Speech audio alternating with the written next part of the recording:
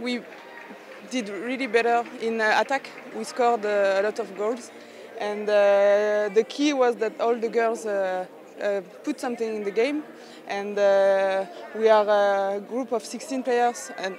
Uh, 19 players, but uh, 16 uh, who play, and everybody brings something, and that's really good because we are fresh, I think, and we have still a lot of power.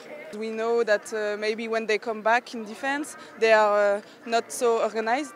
So the thing was to really mm, to play really fast and uh, try to, to score in the fast break. I think a little bit much better also in defense because we can be better.